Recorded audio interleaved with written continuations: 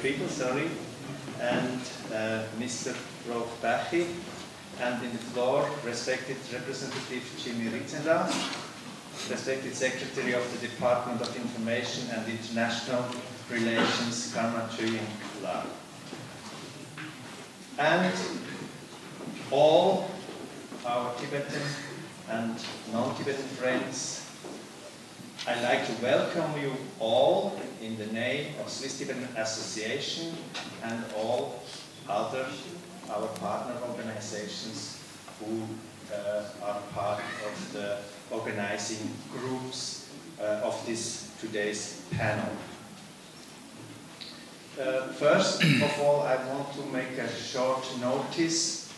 Um, please, if you take photos or videos, make it only in direction to the panel, so not in the direction to the audience. I uh, hope you understand and you will respect this rule. The Swiss Tibetan Friendship Association, as one of its main objectives, has stated already 40 years back to inform the Swiss public about the real conditions in Tibet under the communist Chinese oppression to prevent misinformation about Tibet and the Tibetan people in the media through objective statements and through events like the two panels here in Bern, which was yesterday, and, tomorrow, and today in, uh, in Zurich at this place. Why such panels are important? The Western governments and media use as given the Chinese narrative of the communist Chinese propaganda that Tibet was all, has always been a part of China, or talk about Tibet as a so-called Tibet autonomous region, which comprises only a part of historical Tibet. The latest uh, uh, directive of the CCP is to use Xizang instead of Tibet and with this, the Chinese indicate a it, uh, they indicate a reason for the occupation of Tibet. The name means Western treasure box. What our, are our demands to Switzerland? We want the Swiss government to accept that Tibet was never a part of China. And uh, in views uh, of, uh, of sorry, on the People's Republic of China to the real situation, it should uh, just its views on the real situation of China. What this looks like in reality, we will hear uh, today from our highly competent panel guests. I would like, I would now like to hand over the microphone to Claudia Sedioli. She is a freelance communications consultant and professional practice docent at the Zurich University of Applied Science. Mrs. Sedioli will lead us through the panel uh, this evening as a moderator. Please, Mrs. Sedioli. Thank you, Thomas. Thank you.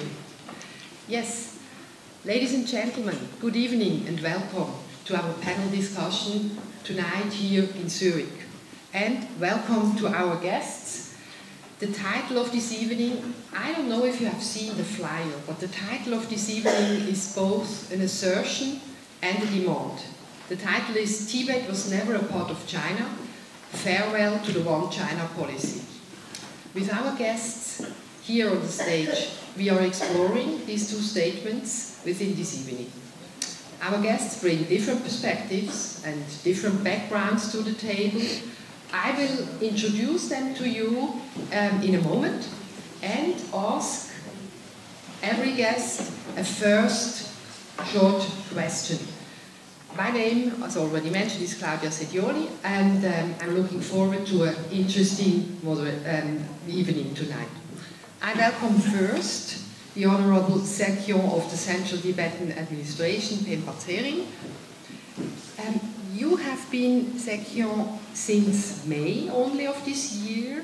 For two terms between 2008 and 2016, you were the Speaker of the Parliament of the Central Tibetan Administration. And I will ask you a really huge question, and Bill, please, if you could answer it as briefly as possible, because yeah, China's invasion of Tibet happened 71 years ago. What future do you see for Tibet? I'll, I'll try to keep, I'll definitely keep it very short because I want uh, Michael Van Wall Prague, who is uh, here especially for this program. Uh, and he, he has uh, this book in front of him uh, for, for which uh, I think he'll bring a lot of clarification to this topic.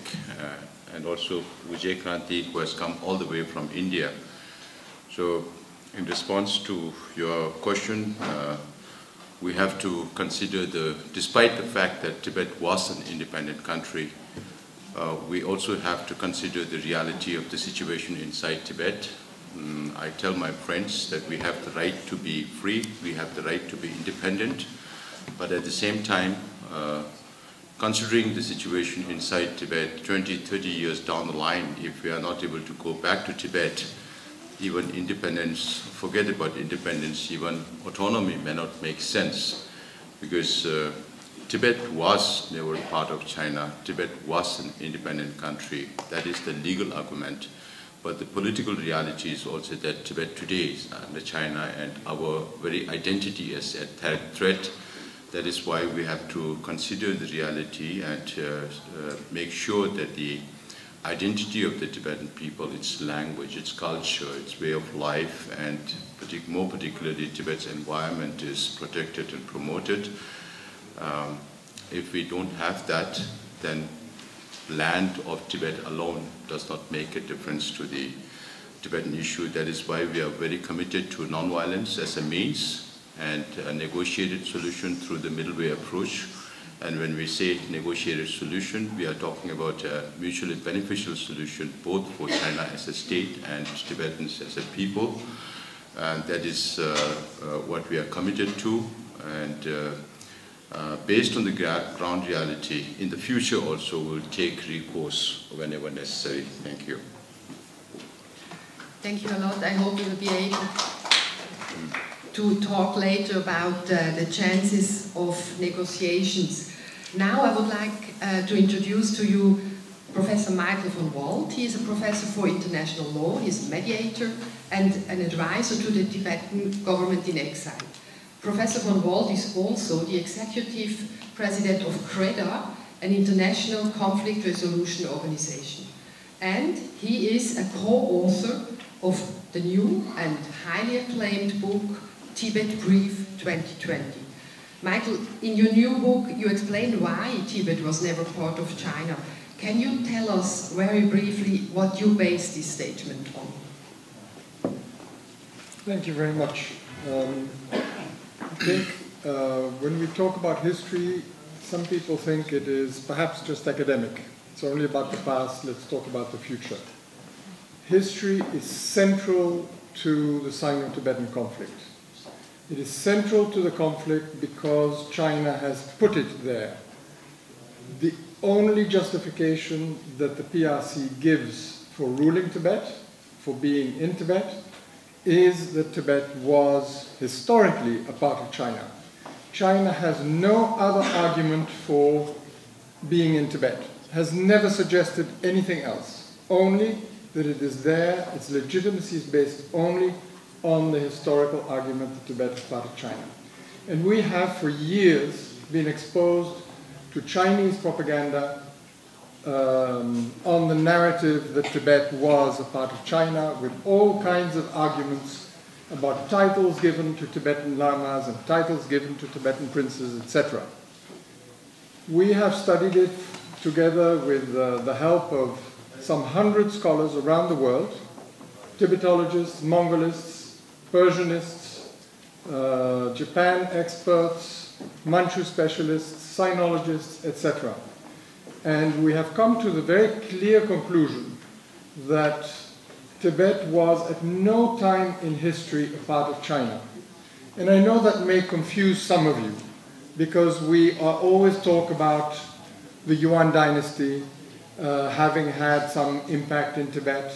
We talk about the Qing dynasty having had an uh, um, uh, um, interference and quite a lot of influence in Tibet. But what we don't realize is that the way in which we look at Asian history has been mainly through Chinese eyes, through Chinese historical records, not through the Mongolian ones, not through the Tibetan ones very much, not through the Persian and the Japanese and the Russian ones. And if you look at all of those and you balance the validity of these different historical documents, you find that the nature of the Mongol Empire was very different than how the Chinese presented. The nature of the Qing Empire was very different from the way the Chinese presented. It. And primarily because both these empires, these were the only two empires that had a relationship with, with Tibetan, a political relationship with the Tibetans of interdependency. These empires were not Chinese empires. They were inner Asian empires, a Mongol empire, a Manchu empire. And we tend to forget that. We tend to equate the Qing empire with China. That is because we Europeans, when we went to that empire, we came through the uh, Pacific Ocean. We, we went around the, the, the water and we arrived in Shanghai, and we arrived in Guangzhou, and we went to Beijing. We saw that empire from a Chinese perspective, not from the inner Asian perspective that created that empire, that ruled that empire, and that occupied the Chinese. And so the relationships that the Manchus had with the Tibetans, interdependency relationship, and that the Mongols had with the Tibetans, was kept entirely separate from, their, from the Mongol and Manchu occupation of China and subjection of the Chinese people. And that is the kind of history that, um, that reveals um, the, the, distinction between Tibet as a, a, state, as a polity, as a, uh, its own country, um, separate from China and never united with China. That's the, very interesting. Thank the you. The country that invented the idea was the Republic of China, and that was simply adopted by the PRC. Thank you, Michael. And Vijay Kranti, he was nodding um, all the time. Um, I will bring your perspective to the table in a moment. Vijay Kranti is of Kashmir origin.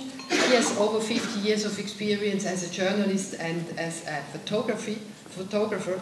As a journalist, his main areas of specialization are Tibet, China, and Kashmir.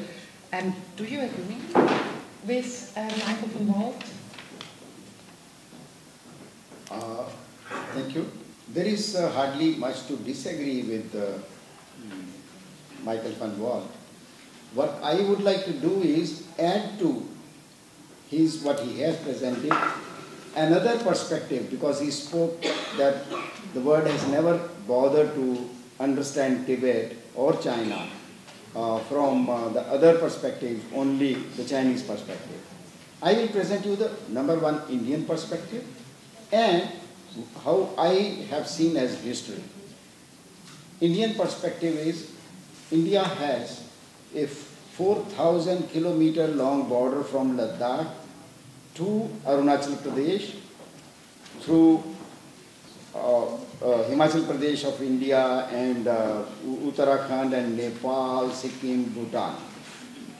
And over the last you say 50 years, 100 years, 1000 years, 2000, 3000 years, we never, never, never had along these 4000 kilometers one inch of land, one inch of park, even for a day when other side was China. It was always Tibet. Relations between India and Tibet have been throughout more cultural and economic. Indians for ages and ages went over to Tibet, to Kailash Mansarovar uh, without visa, without passport. Chinese and Tibetans have been coming to India for last immemorial time to India for their uh, pilgrimage to various Buddhist centers.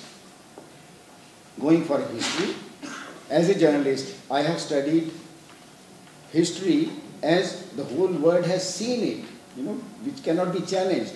If you go to 1911, 1912, at that time, China was a very, very small country.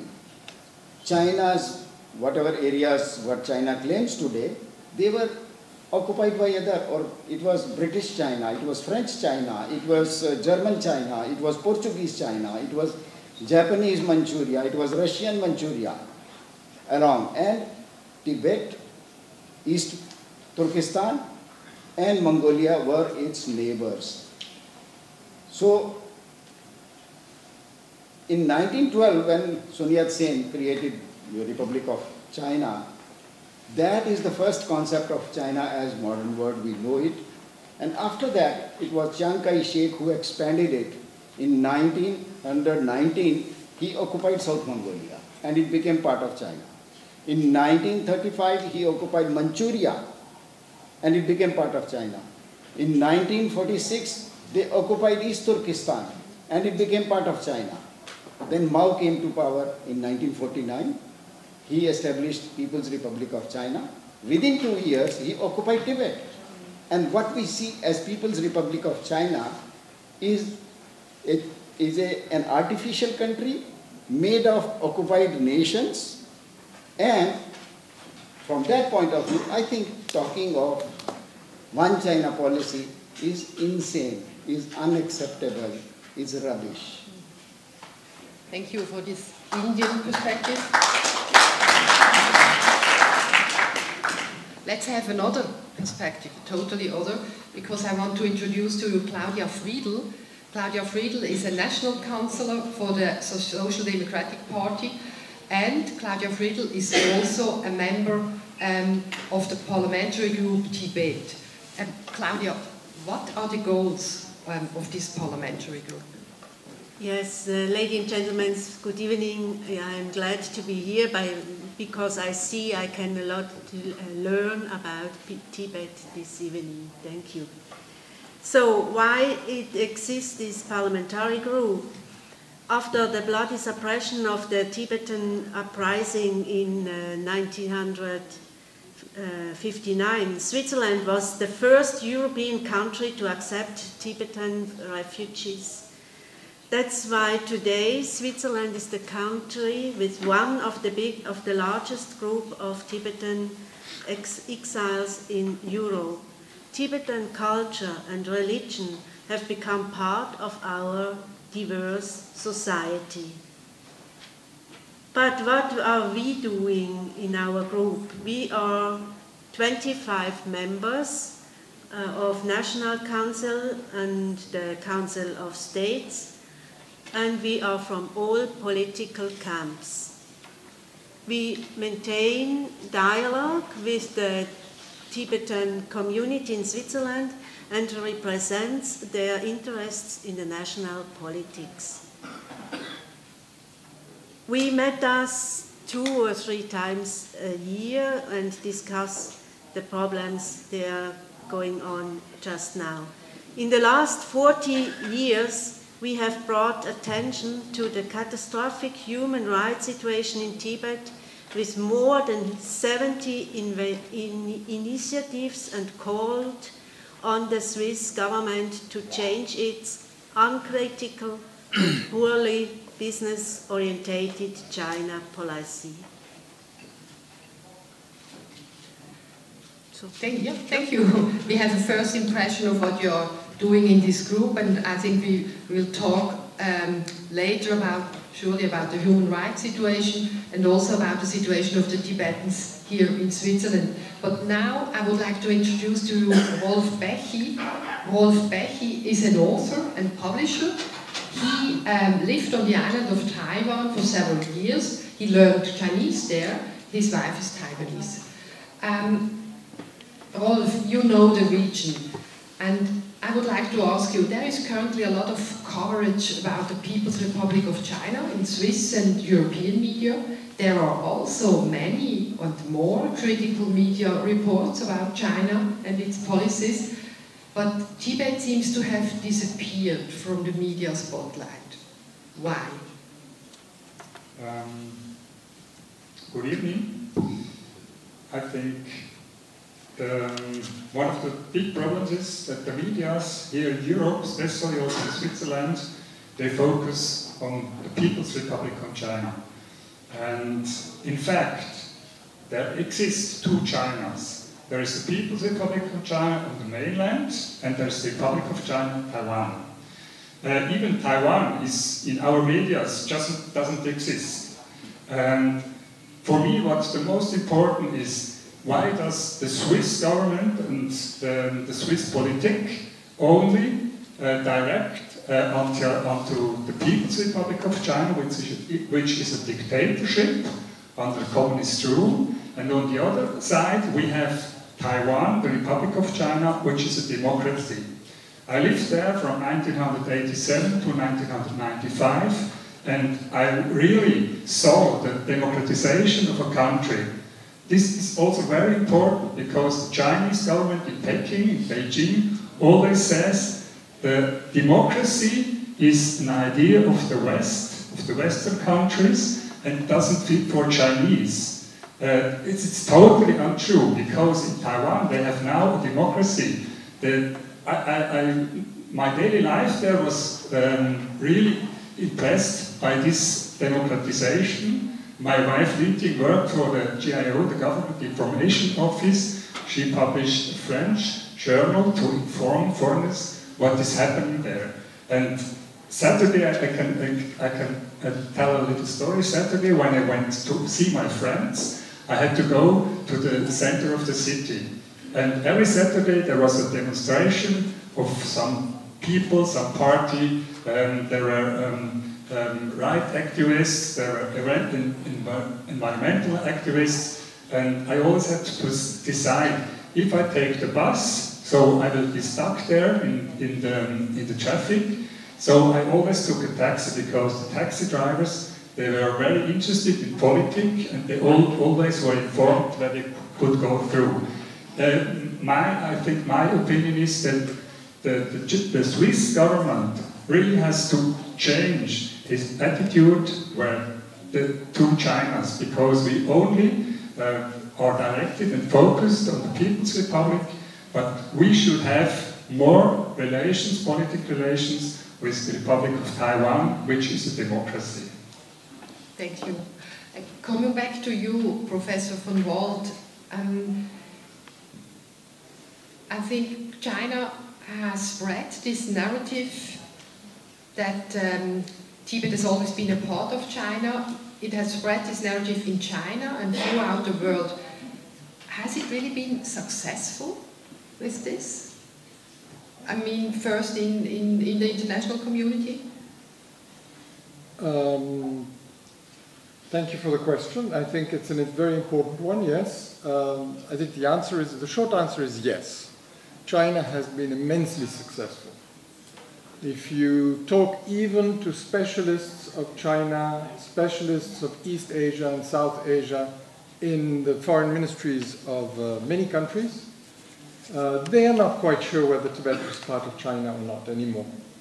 30 years ago, they knew that Tibet was invaded and had been an independent country. Today, they're not so sure anymore. Why? Because the Chinese propaganda has been effective and has not been effectively countered. We have not been able to bring the real story convincingly. China has simply repeated again and again the same story and it stays in our minds. And I know even uh, uh, that many young Tibetans, and Tibetans even in Dharamsala, some of them know the Chinese narrative better than they know the real, the real history of Tibet. Because that's what we're all being exposed to all the time. We're not being exposed to the Tibetan history and the Tibetan side of the story very much. So yes, I think it's been very effective. And one aspect that also makes it effective is simply that we have been conditioned to use the language that Beijing wants us to use when we refer to Tibetans and to Tibet. So we refer to Tibet as a, as a western part of China or a region of China in the press, in the media, and people talk about Tibetans as a minority. Tibetans are not a minority, they're a people, they're an occupied people. Tibet is not a part of China. Legally speaking, it is an occupied country. It has maintained its legal independence, but is an occupied country uh, with the right to restore its independence, with the right to self-determination. And it is illegal for our governments to recognize that Tibet is part of China. Because we are not allowed under international law to recognize the annexation of territory of a country by force. And that is what happened. So that's what we argue in the book also. Um, and that is what we have been also asking governments to pay attention to.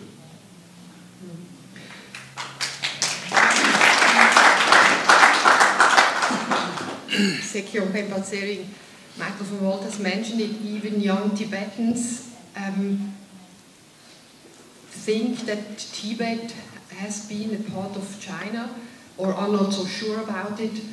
Is it true? And what can you do against it? I think the more, um, many of the younger generations uh, support Tibetan independence. Uh, uh, I, I'm not quite sure whether they really understand the history or not. Uh, I, have always been insisting that Tibetans should pay more importance in studying Tibetan history.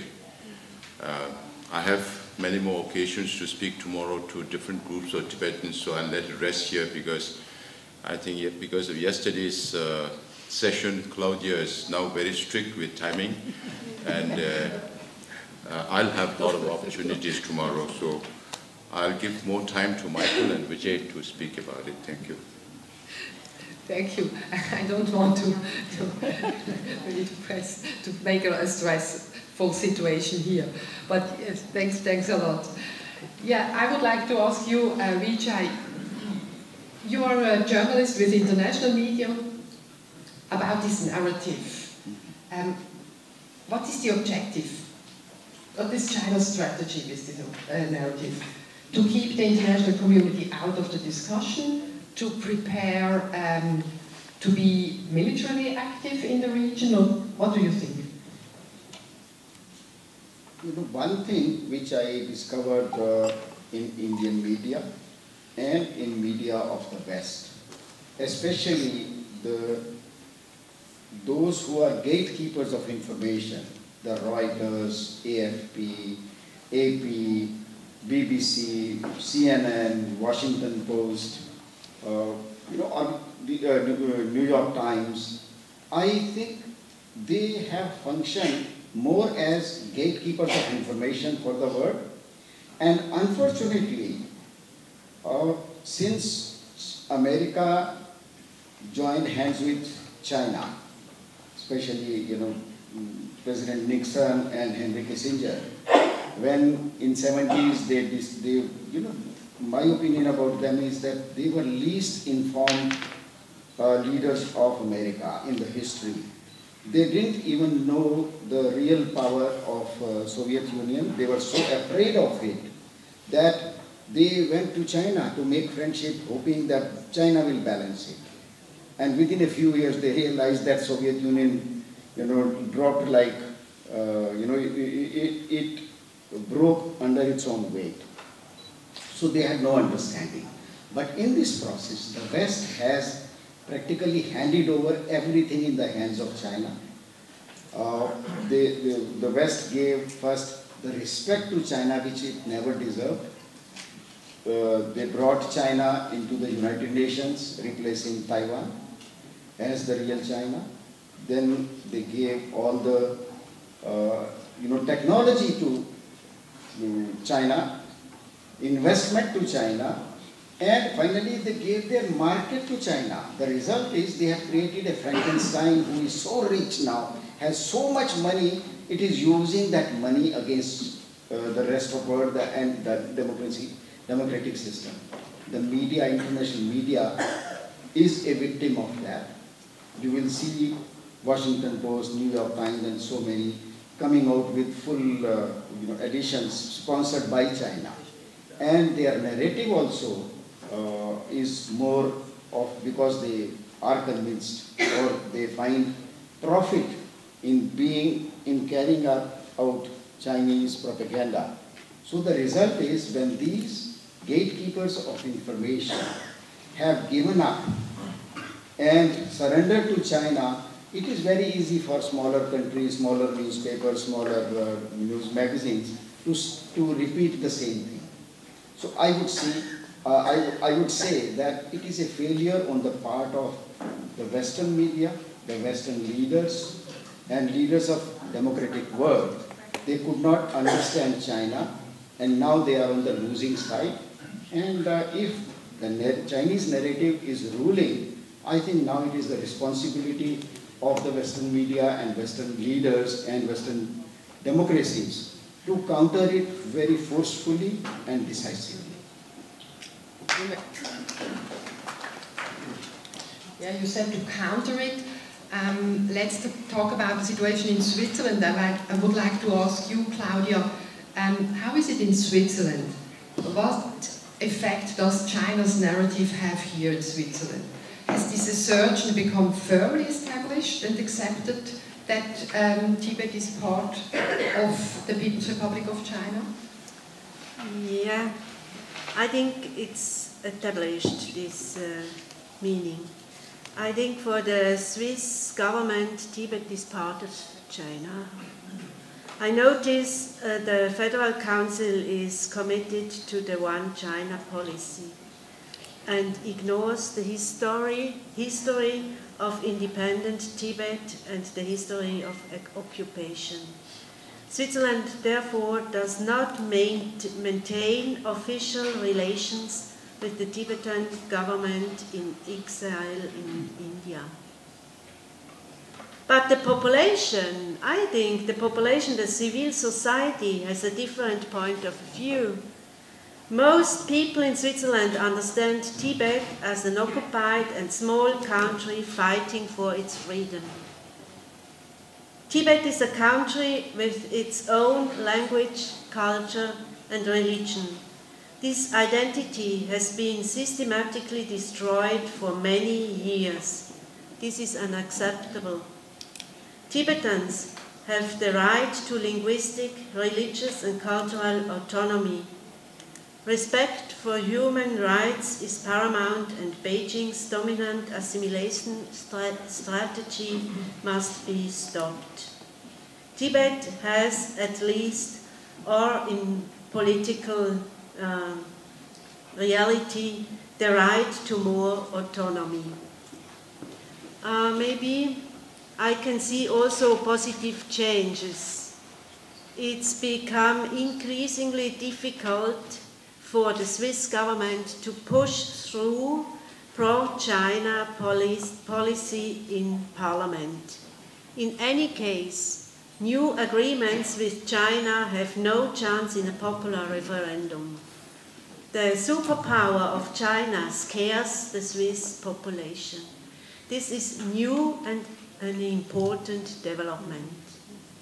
Yes, you have mentioned the difference between the opinion in the parliament and the opinion in um, really among the, the people he, living here. And you have also mentioned the one China policy.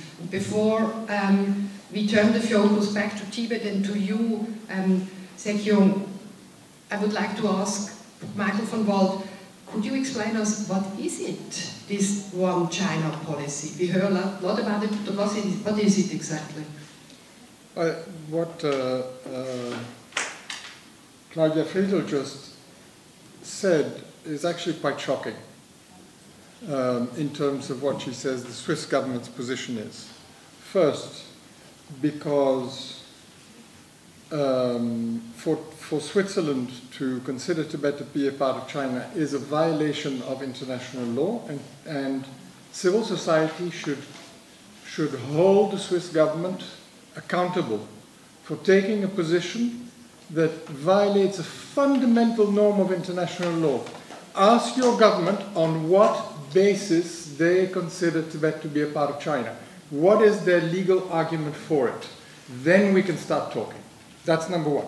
Two, the one China policy has nothing to do with Tibet. For the Swiss government to say that somehow, because they accept the one China policy, that means that they must accept that Tibet's part of China, that uh, uh, has nothing to do with it. The one China policy means accepting that there is only one China, only one government that can claim to be the government of China.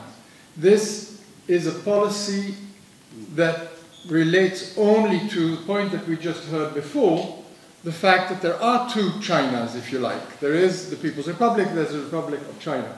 And so governments have to say, no, we don't recognize Taiwan as the Republic of China, there is only one.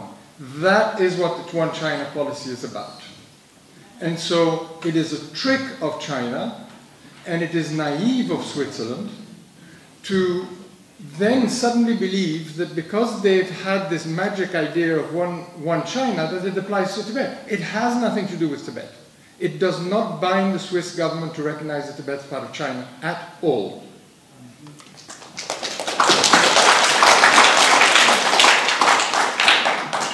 So thank you for the clarification. And now let's turn the focus back to Tibet.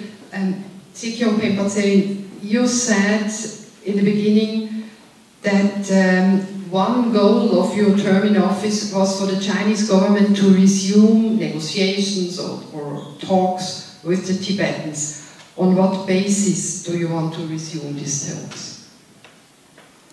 I already answered that question uh, in the first statement.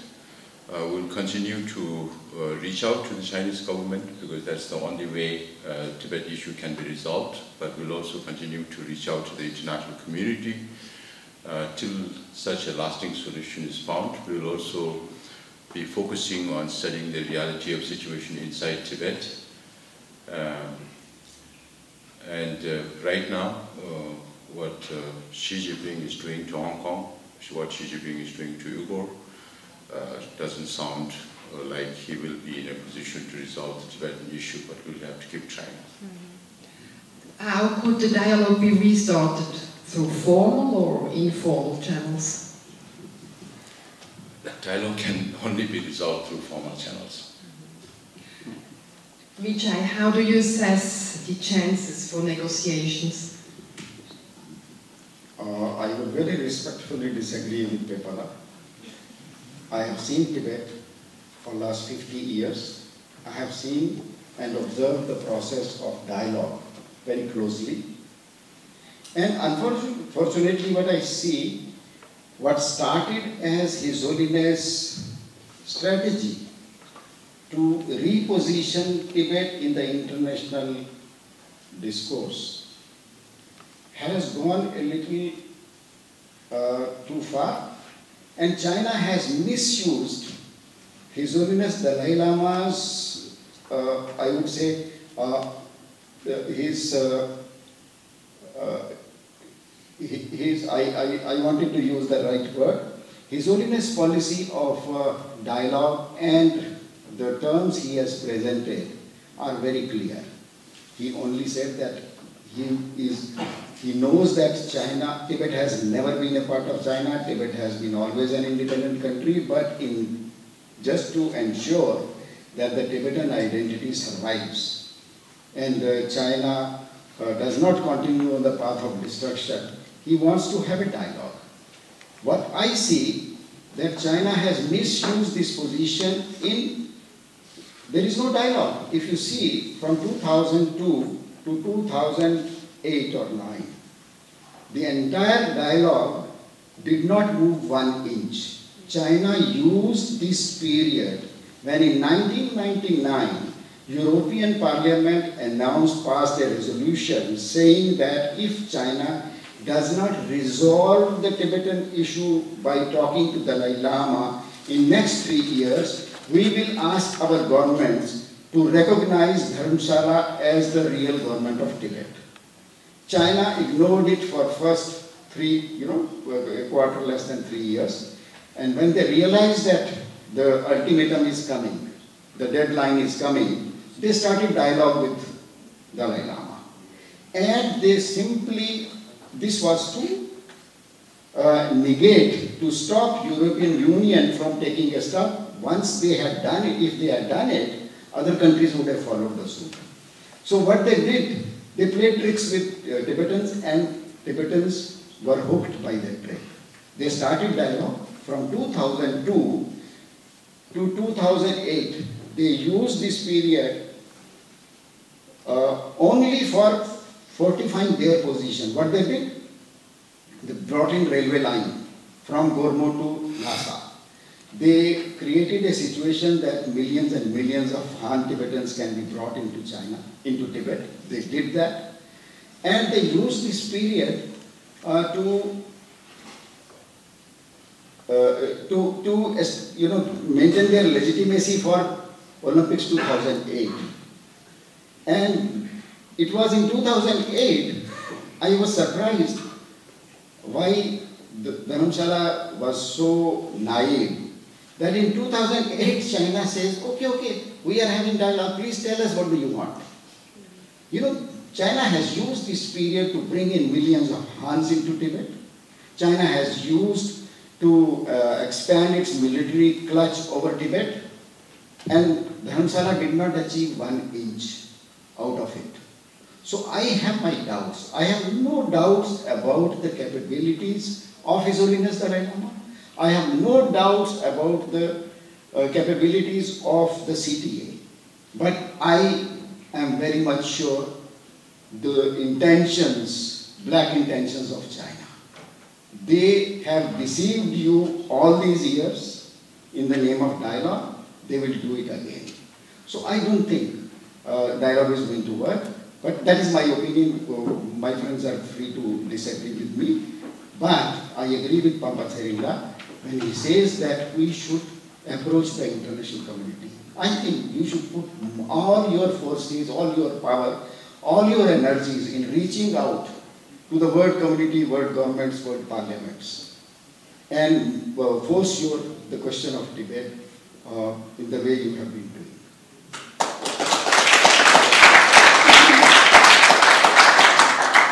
You depict a pessimistic picture based on the experience in the past.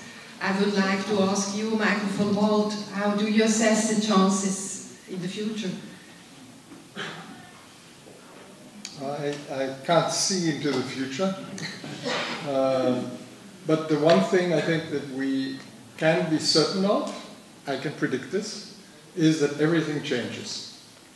And so just as other empires have fallen and other colonial powers have had to let go their colonies, this will happen as well. The question is really only when. You know, nobody believed that the Baltic states would ever be independent again. Nobody believed that East Timor, a small island with 600,000 people, could become independent from this enormous country, Indonesia. The asymmetry is the same between Tibet and, and China. A huge power and a very small country, not small in surface area, but in population relatively. Um, changes happen, they don't necessarily happen in the way we expect them to happen. It can be natural disasters, it can be economic crisis, it can be uh, over, overreaching of China in its Belt and Road Initiative, it can be a number of things. But change will happen, and our task is really to make sure that when that happens, that Tibet is intact, that the Tibetan identity is there, that the movement is alive, that it knows what it has to do, that the international community knows what its responsibilities are, they don't today, and therefore that when that opportunity arises, the opportunity is always extremely short. When the opportunity arises, that everybody does what they're supposed to do and takes that opportunity for change, and that change can then happen.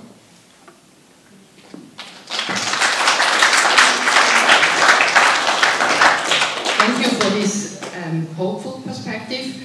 You mentioned the Belt and Road Initiative, this gigantic um, project, um, China's project with land and sea transport routes. I would like to ask you, Rolf, um, what are the Chinese objectives of this gigantic project? Um, I think that first it's a kind of um, economic development for the Chinese companies. Doesn't have to do anything with the countries which uh, are just included in this road belt. Because if we see what the investments are going there, 80% are about the Chinese and not by the, the national companies. I can tell a little story when I was in, in Ghana 10 years ago. My father worked there when he was young as an architect, so we tried to, to uh, take some roots of him there. And everywhere we, we saw Chinese companies constructing roads and houses. It was the same type of houses you find in Taiwan and China. So I think um, this Road and Belt Initiative is now under stress. I think also that the pandemic outbreak in Wuhan last year, the matter how the Chinese government handled it, for me, it was the biggest mistake they did the last 30 years because they don't want to realize they have to take the, the um, con, con, not control, but to, to analyze this and they block everything. For me also there are some signs there, signs there are changes because you see now there was the, the 20 um, um, G in, in, in Rome, Xi Jinping was not there. And I discussed with my wife, I think it's not only because he has fear to confront now the critics in the West, in other countries, but I think also that there is some uh, tensions in China itself. And I think he, he doesn't want to leave the country because he doesn't know uh, how is the situation when he gets back. Do you agree? Do you agree with this, Michael? I think, uh, as uh, Sikyong has also said in a number of occasions during his, uh, his trip, uh, there is uh, some evidence of there being a lot of insecurity uh, among in the Chinese leadership or Xi Jinping um, in terms of the Communist Party's control being secure. And this is an example of that. Of course, uh, Xi Jinping did not also participate in the climate change conference, um, another sign. But also, and this I think is, is important uh, uh, as well, is that the very assertive and aggressive at times policies of China in northern India, in Arunachal Pradesh and elsewhere on the border, in the South China Sea, uh, uh, towards Taiwan. All these things are also created in order to prepare for a possible diversion if there's an internal problem in China. If the Communist Party is under threat in China itself, then having some type of conflict outside is going to enable the leadership to get everybody united again for the, for the party, for the leadership. And that's a very dangerous situation at the moment.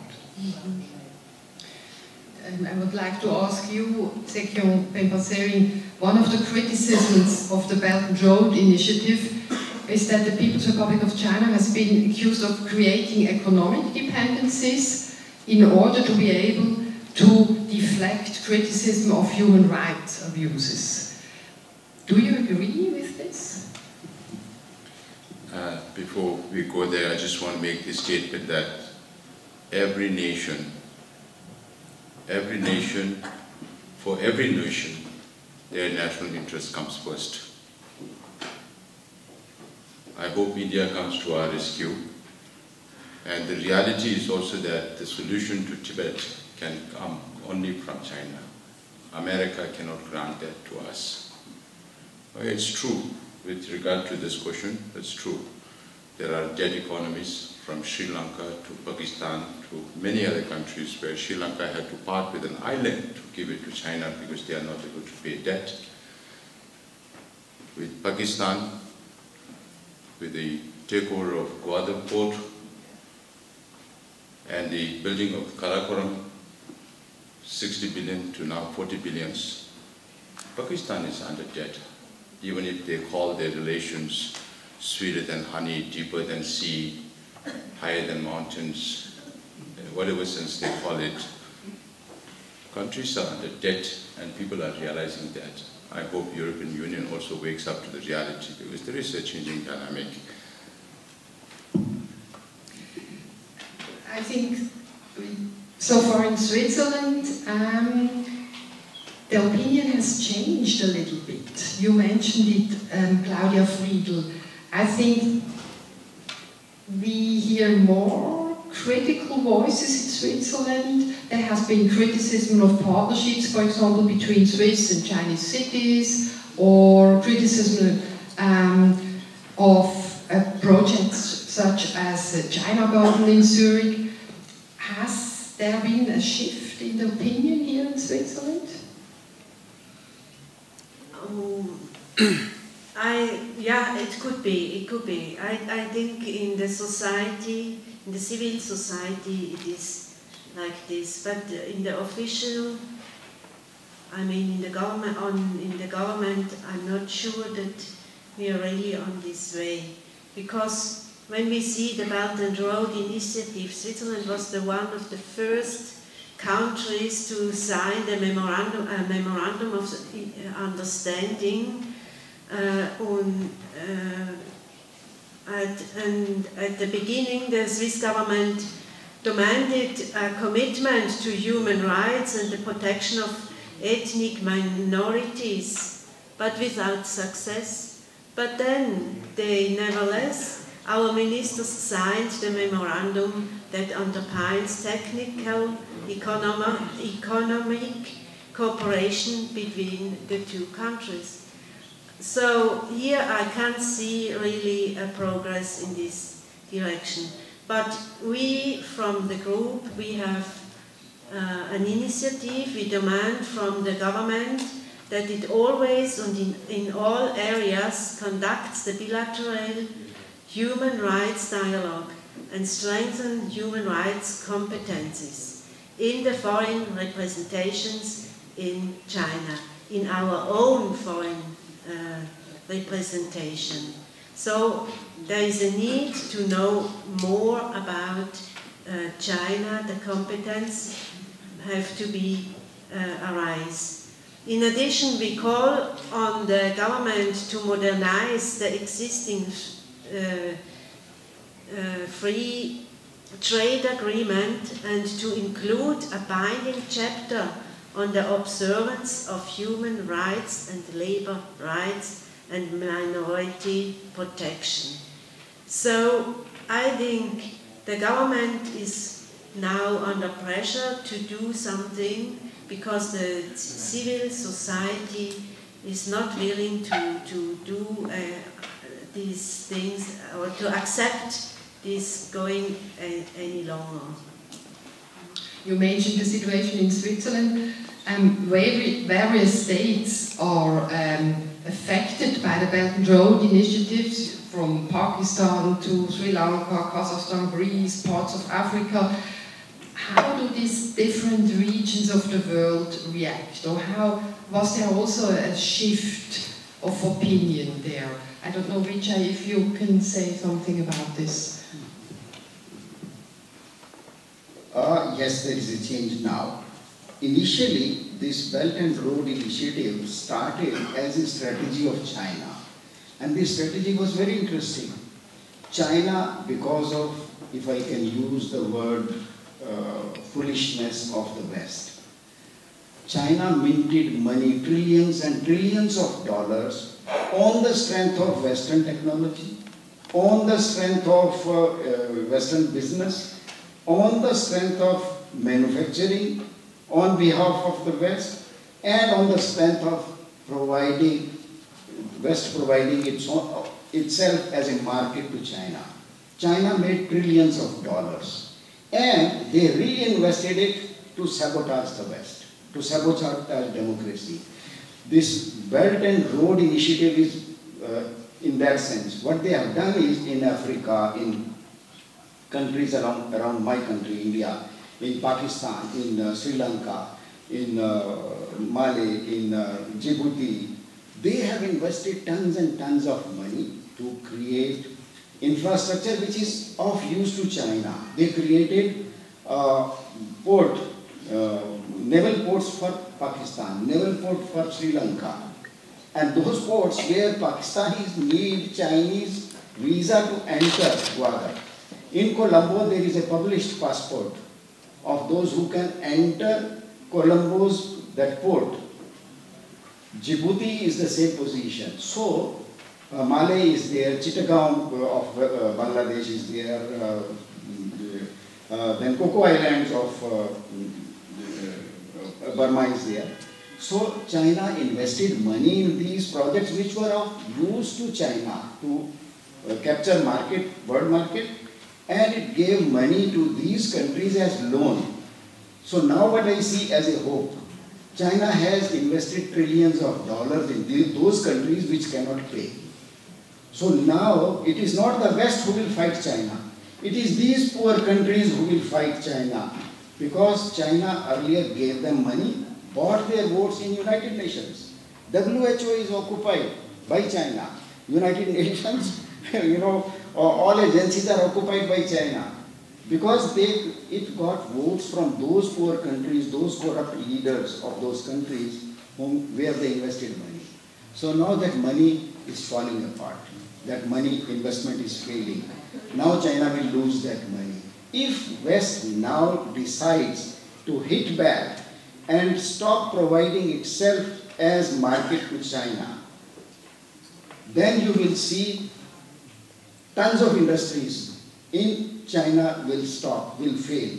And what my friend Michael van Walt says from what will happen within, then you will see, you know, hundreds of thousands of companies of China closing down, millions and millions of those Chinese who have now are got used to not Mao's lifestyle, used to Deng Xiaoping's lifestyle, who want to be who say uh, it's a it's a it's a virtue to be rich.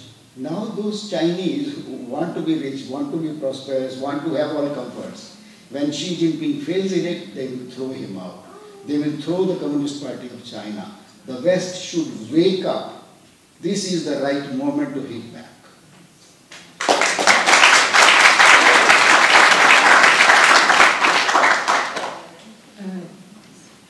One of the criticisms against the Belt and Road Initiative is, all, is also um, that it doesn't transport not only goods but also narratives. Also, uh, it influences the public opinion. Um, Rolf, what is your perspective on this? How does the Chinese, how do the Chinese narratives arrive in Europe? Uh, I think it's a very, very important point because um, and Michael told it and said it. The Chinese narrative is dominating our discussion. And I think we here as Swiss people, Swiss citizens, we should be aware of that. Uh, personally, I'm writing a book now just to counter this narrative.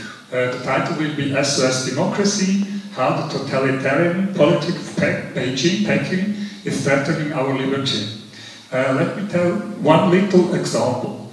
When Xi Jinping is speaking to the outside world, to the West and other countries, he is also spe uh, always speaking uh, about globalization, about bilateral trade, um, international community. But when the, the, Chinese Communist Party is talking about the West, uh, they have another, a different, very different narrative. They always call the West hostile Western forces, feindliche westliche Kräfte. That means our democracies are the enemy of the Chinese Communist regime. So for me it's very important that we don't believe what the Chinese communists tell us. We cannot believe what they are just um, saying, what they are doing, because it's all of them, for me, most of them are lies. And I think it's very important that we counter now this narrative, just as Michael does it about Tibet, and that we all, all of the, the, the European uh, people uh, are aware that we have to block, and how, uh, which I said, we have, really have to counterattack. We don't have to, to um, hear and, and um, um, to, to weigh them. Uh, another little, another little example, when Li Keqiang, he is the, second uh, after Xi Jinping, went to Switzerland a few years ago, I live in Embrach, just Kloten. Uh, they, they, the, the, the, Swiss government arranged that um, Li Keqiang was transported from the airport to a farm in Embrach to see some Swiss farmlands. Even our mayor of the city wasn't informed. Whole of the street was blocked by the police. And I think if we are judging, uh, treating China like this, we are just uh, obeying them.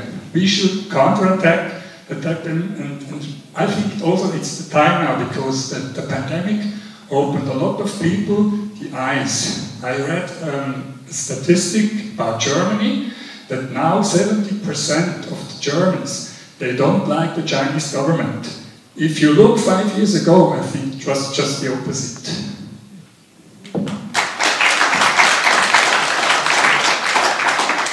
Thank you, Rolf. Um, you in the audience, you will have the possibility to ask your questions in about five or ten minutes. But now I would like to talk about the situation of the Tibetans in Switzerland. Um, for a while, Tibetans without passports or other formal papers had to resolve all their administ administ administrative matters directly at the Chinese embassy. Is that still the case, Claudia? Do they have to go to the embassy? I think you can ask the people here in the mm -hmm. room. They know it better than me, I think. But uh, for I, I think it's all, all uh, still like this. Still, is it? Yes. It's the same for Taiwanese people, I think, Wolf. When my wife Li when we married, uh, she got a Swiss passport and there was written Taipei, Taiwan. Three years ago, after the negotiations uh, of the Swiss government for the tree, uh, free trading agreement, now she got a new passport and there is written Taipei, China. It explains all. Everything. Um, what do the Tibetans of, I don't know if, if you know it or if or you, Claudia, I'm not sure, what do the Tibetans experience there at the embassy? Or probably I should give a microphone into the audience, I don't know. I think it's better because I never was on the, uh, there, so maybe it's better somebody else will I don't know if... Is there someone raising a hand and would... Yeah? I will bring you the microphone over and hold it for you.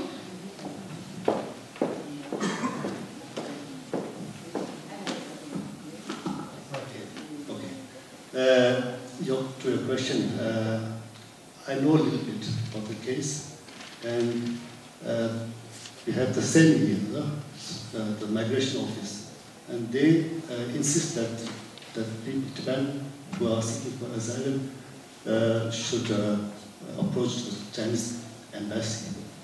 And uh, I know so far that when they go there, the Chinese embassy doesn't address their issues or their problems. so they get rejected. And we also have uh, witnesses, Swiss people who have accompanied uh, Tibetans going there to the Chinese embassy. And uh, that's a fact. So uh, there's a big collaboration between the Swiss government through the same with the Chinese government. And I think that's the fact because uh, through the whole uh, uh, asylum process, uh, there are Chinese, uh, from the Chinese government, uh, organized translators or whatever, who get all get access to all those documents of Tibetan refugees who are seeking asylum in Switzerland. And I would just like to make a small remarks. We shouldn't forget that the, that the Swiss government, uh, 60 years before, they granted Tibetans as political asylum. Tibetans came as political refugees to Switzerland, and that goes forgotten. And today's Swiss government, they are just doing the opposite. They are contradicting their own Swiss government of those times, 60 years ago. And I, I, would just, I just wanted to make this small remark because it was important to, uh, to let the Swiss people know that Tibetans have been, uh, have been granted political asylum 60 years before. That means Tibet was, in fact, an independent country. Otherwise, they wouldn't have uh, granted us Tibetan as Tibetan refugees. They would have called us Chinese refugees, and that was not the case. Thank you. Thank you for this statement. I think there is another statement. Can it give, I don't know if, if you want to bring the microphone over. Yeah, I think there's been another statement, yes?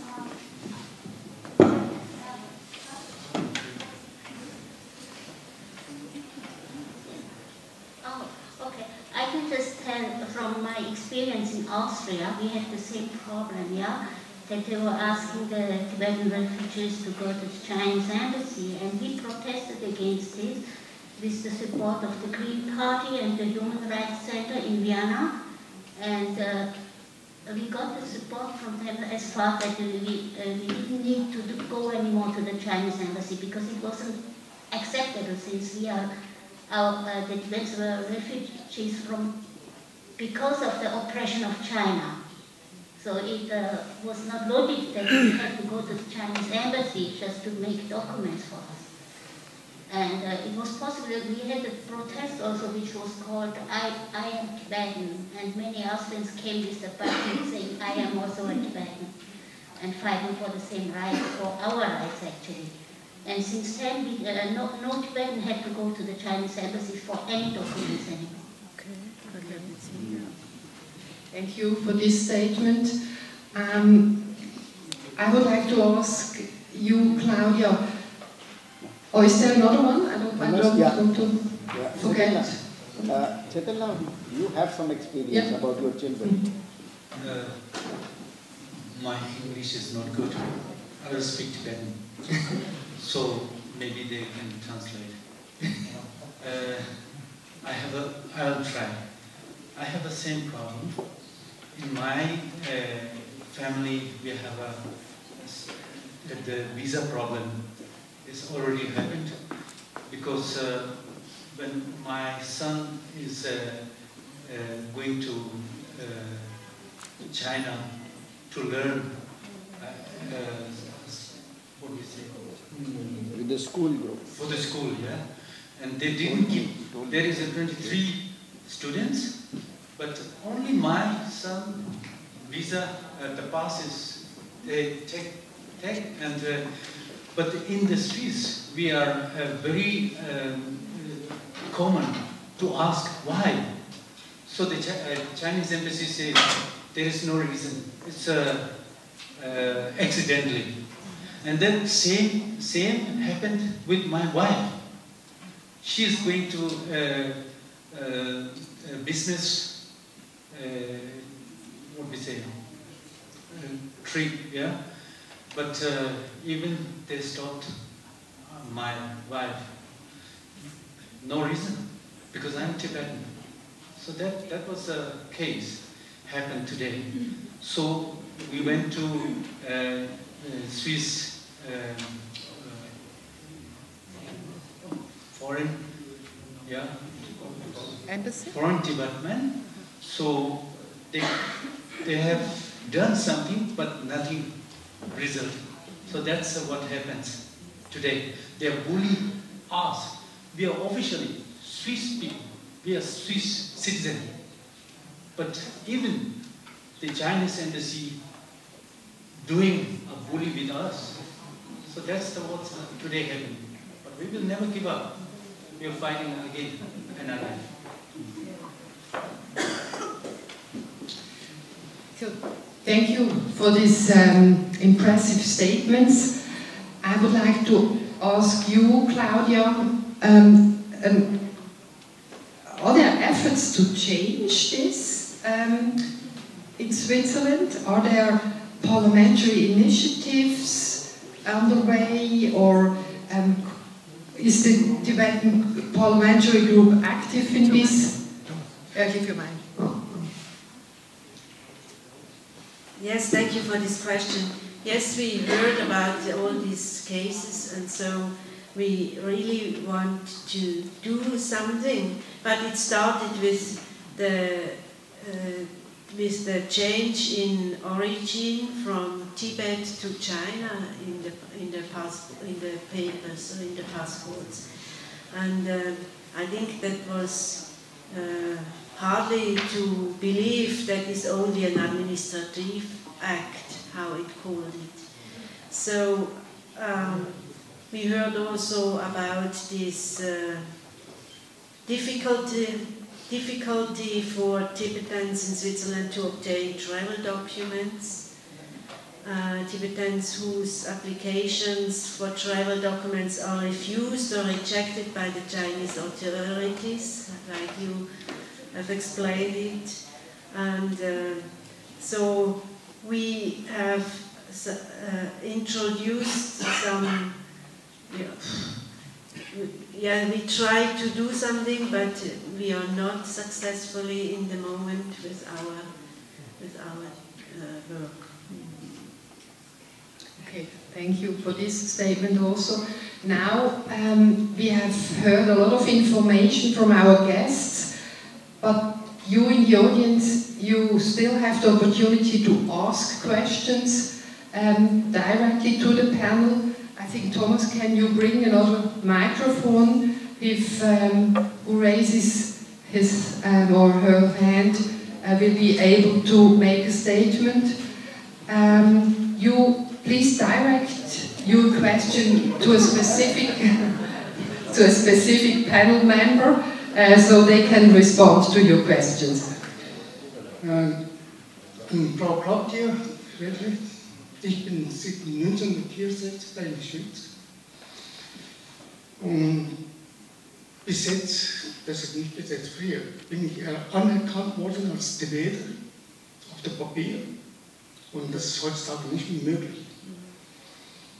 Und, wir kommen, und wenn Sie mir sagen, wir sind eine Part von Chinesen, das ist eine Frechheit. Und ich habe momentan das Gefühl, wir sind nur geduldet hier im Land. Die Schweiz hat mir viel geholfen. Ich bin da aufgewachsen, bin in Westdeutschland aufgewachsen. Früher war kein Problem, man kann sagen, ich bin ein Tibeter. Heutzutage durch den Computer und das ganze Zeug, Tibet existiert gar nicht. Und wir können zu mir sagen, wir sind ein Part von China. Viele Tibeter sind Asylanten hier. Die haben kein Papier. Ich habe auch keinen Schützenpass. Nie werde ich beantragen. Weil das nun stolz in Tibet. Ich kann nicht mein Land beleuchten. Tibeter sind auf der ganzen Welt verteilt. Nur Geduld und Gehorsam. Wie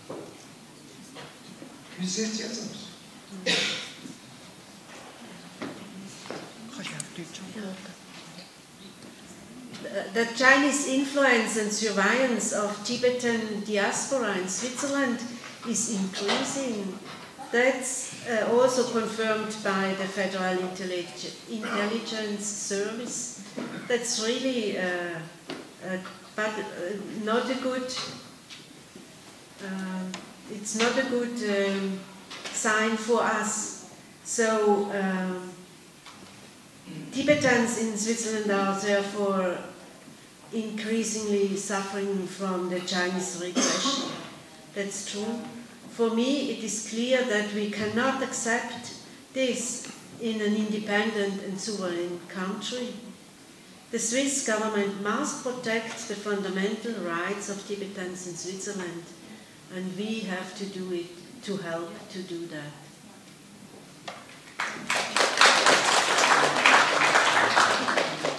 We have another question over there.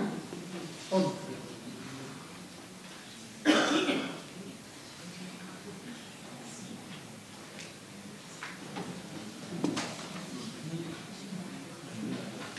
Uh, thank you very much. I have a question and it's very difficult for me to address it to one specific speaker, so I'd like to leave it open. Either of you can answer this question. Uh, we heard now a lot about the, the soft power approach of the CCP, uh, just like Confucius once said that he's not going for an all-in war, so he's just trying to take parts and parts, parts of it. And uh, we also talked about the Belt and Road Initiative. So nowadays, just like Sikyong Penpa Tsering la mentioned, countries like Pakistan, Sri Lanka, Djibouti, etc. are realizing that they have to default all the loans that they took from the CCP, that they are not able to pay back all the costs of the infrastructure project, Belt and Road initiatives, and that slowly even those corrupt governments are realizing that this game, this project, this, um, this quest with China is not working. And even we in Switzerland have, um, have um, observed that the free trade agreement between Switzerland and China that has been ratified in 2015 is not working. So parts of the Swiss industry is already complaining and objecting that the mutual benefit of free trade agreement with um, not paying any more import tax, etc., is only working for the Swiss uh, for the Chinese investments in, into Switzerland, with Chinese um, exports into Switzerland, but not on this, uh, vice versa, when Swiss companies are realizing that the Chinese are deceiving the, the industry, all the, the chamber of commerce, the politicians, etc. And uh, as you mentioned, that also the, even members of the Swiss parliament are now more and more objective to uh, pro-China uh, policies into the parliament. And um, what we would like to know is that we have tried the dialogue, the direct dialogue between the, Central Tibet administration and the Chinese government. And as we can see, uh, the results are really, uh, I would say, not really ast astonishing.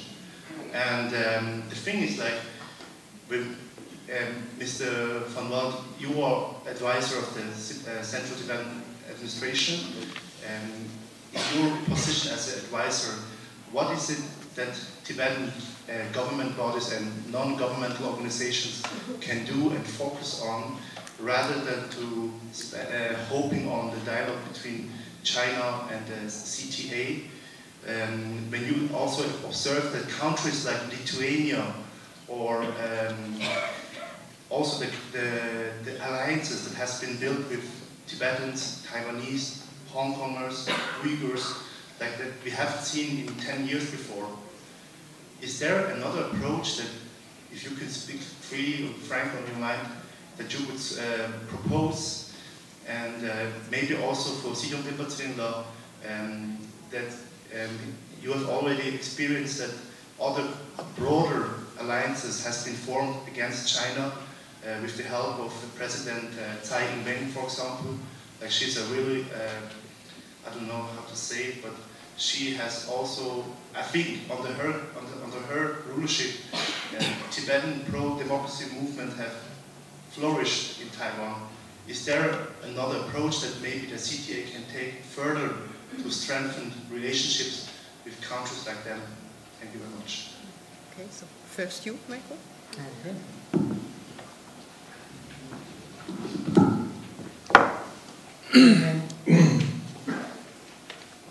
I don't think it's a question of an, another approach, one approach or another. I think there's a number of things that need to be done, and civil society has has a very important role to play.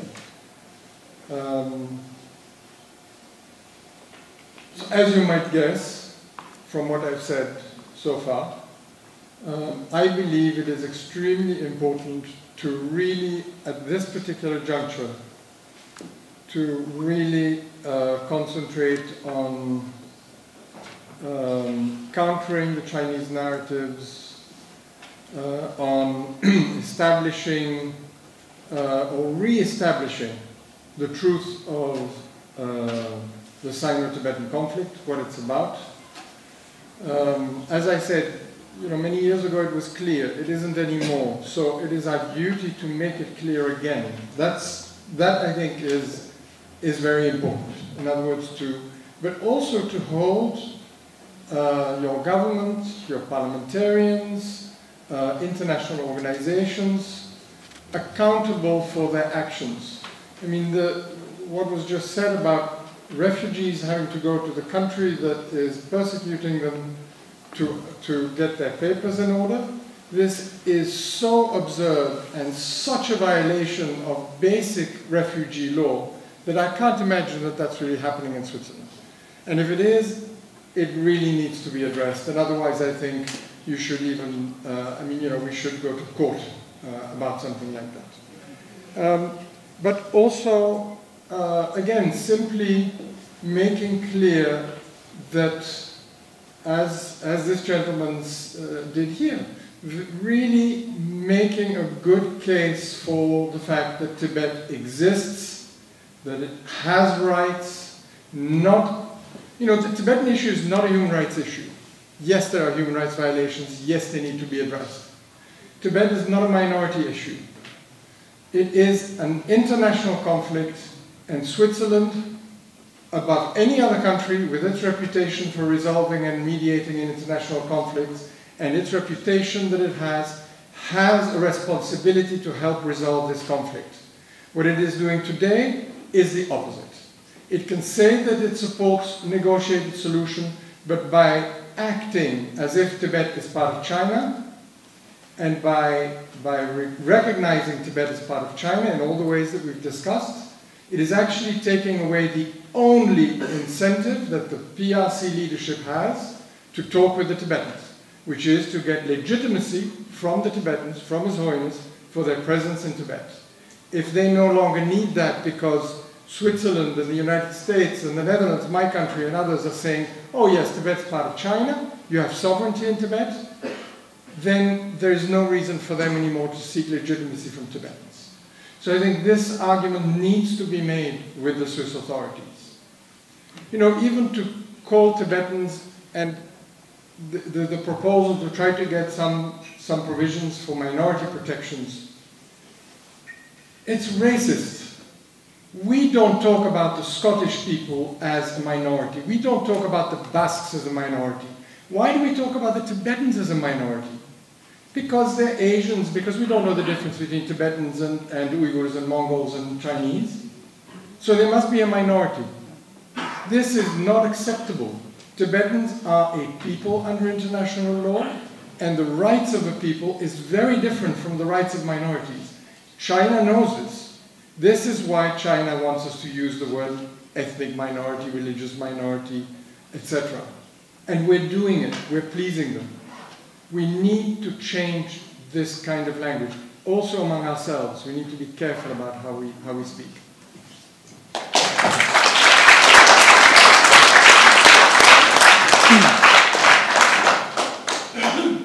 Um, last five days, I was in Switzerland.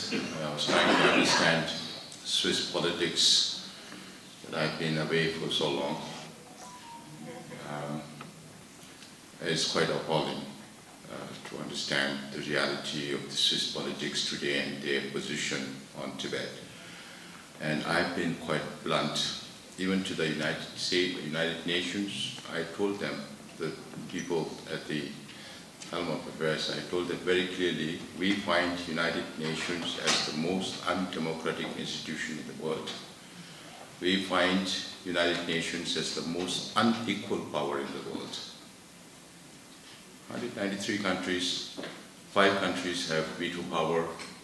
Whatever you discuss at the General Assembly level, when it reaches the Security Council, goes nowhere. And we have no space to speak our mind. That is why we organize this two days Geneva Forum. And at every given opportunity, we have to piggyback on non-governmental organizations to raise our voice. And this is beautiful, humiliating. And people who oppress are sitting as judges on the high table and decide for us. So there's no space in the international community for us to speak. With regards to Swiss, because I think the, our friend here who raised this issue, Swiss government received Tibetans as early as 1961. And they received Tibetans as refugees. And I impress on your relevant authorities yesterday that you are anyway giving, I, have not seen the, the Swiss government, they, they still don't have the courage to deport Tibetans back, back to China or India. You are anyway granting asylum in two years, three years, four years, five years. So why don't you do it now? At least the Tibetans will feel that the Swiss government has been kind to us. You suffer for two, three, four, five years and you feel that you struggled a lot to get this paper. It is a very simple argument. And I also told them that I'm completely appalled at the extradition treaty that Swiss government signed with the Chinese government. Do you have a Swiss criminal who ran away to China and needs to be extradited back to Switzerland? It's only for China's benefit that they are, they are signing this extradition treaty. It's very plain, very simple. Uh, it's very clear that the business community is winning. Swiss is rich, but the business people still want more money. But money alone doesn't bring happiness. and you sacrifice the values that you cherish here as a free country with all human rights, with human dignity. And I've been blunt, very, very blunt with your government. And I've also appealed to the members of the interparliamentary group to raise their voice, but the numbers are not enough right now. But there is growing awareness. You have the Swiss author who wrote about United Work Front's intrusion into your financial institutions, in your media houses, in the universities.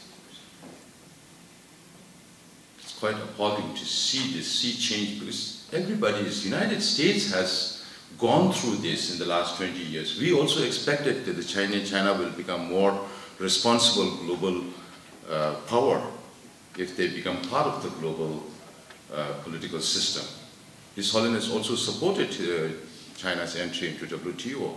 His Holiness supported China organizing 2008 Olympics. But now everybody realizes that what we thought could be achieved is not being achieved. And today Switzerland is going in the opposite direction of what the world is doing. And I hope it's not too, not, not too late for the Swiss politicians and the Swiss business people to understand the reality of this situation. Me add one point, very quick point. Very, very. Uh, Today I met a friend, a Tibetan friend living in Switzerland, and I was shocked to see, uh, to hear about one case. His child, who is a Swiss national, who has a Swiss passport, student of a school, the school is sending about 20 or 25 students, Swiss students to China for a study tour and the Chinese embassy rejects visa for one child who is holding a Swiss passport because his name is Tenzing. To here, I don't think it is an insult to Tibetans. I look at it as an insult by Chinese embassy to the identity of Switzerland, to the passport of Switzerland, to the government of Switzerland, to the sovereignty of Switzerland. And I, as an Indian who cherish democracy, who cherish our own national respect, uh, and we respect Switzerland so much for so many good reasons. We wish the Switzerland government, the Switzerland government should, uh, system should wake up that they are being insulted by the Chinese embassy. This is not the question of rights of a school child who belongs to, a, who was born in a Tibetan family. This is the case of a Swiss national child who is being rejected visa on the ground. He, his name is Tenzin, as if Chinese government will decide what the Tibet, uh, Swiss parents, how they will name their children. I think Swiss government should stand up for its own self-respect. Leave aside Tibetan issue.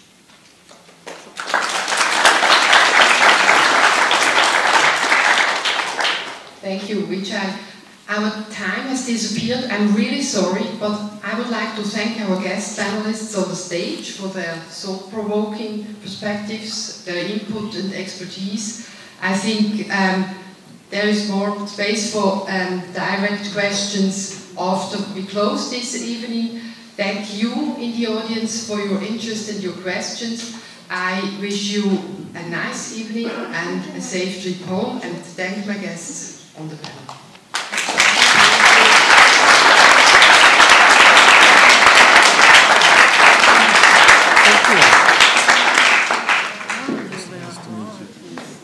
Thank you so much. In my opening statement, in my opening statement, I mentioned that we expect the official Switzerland would adjust its view on the PRC towards reality and that we would come to know more about this reality today. I think the speakers have fulfilled completely our expectations. With your uh, signaled uh, applause, it was, I think you agreed with my statement. So they did an impressive job today, and already yesterday, of course. We have learned many background um, reasons why Tibet is not part of China. So in our organizations, I think we'll strongly say in future yes to Tibet.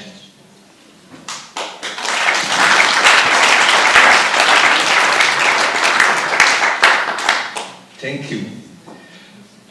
So, uh, some um, notes about uh, when you go out.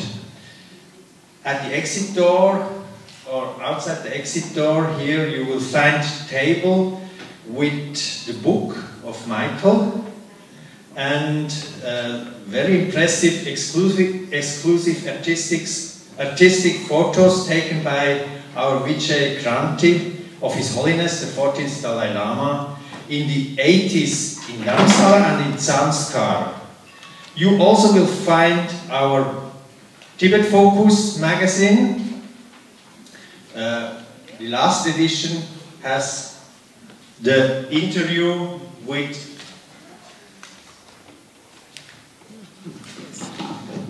with Sika Pepa Zeringla.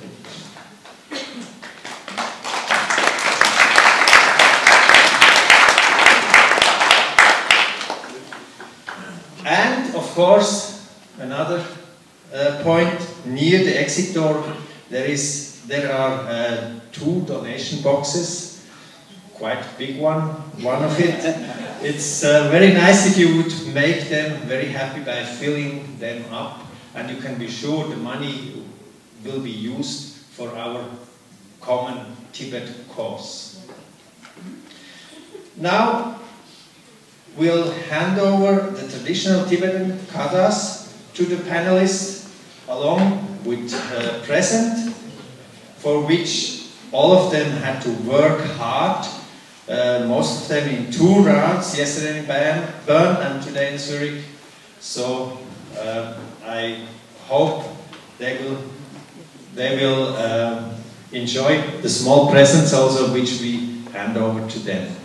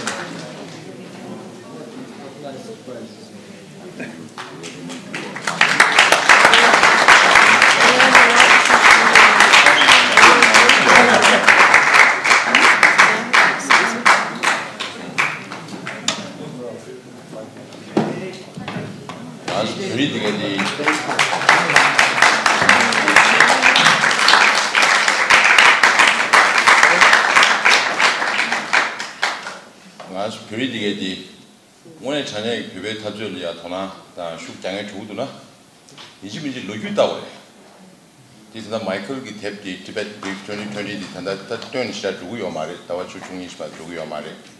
Ti inji miji ngebar tu lot. Ti nyam tu tanda kemi professor chiyo, professor Lau Singh chi. Kurang kemi re.